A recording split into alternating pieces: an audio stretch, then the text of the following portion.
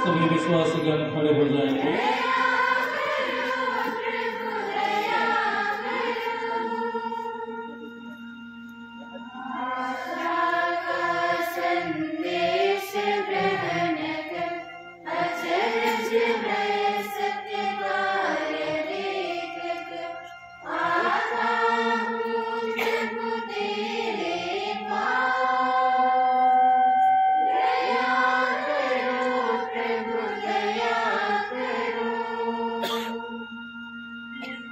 आशा का संदेश ग्रहण कर अचरज मैं सत्य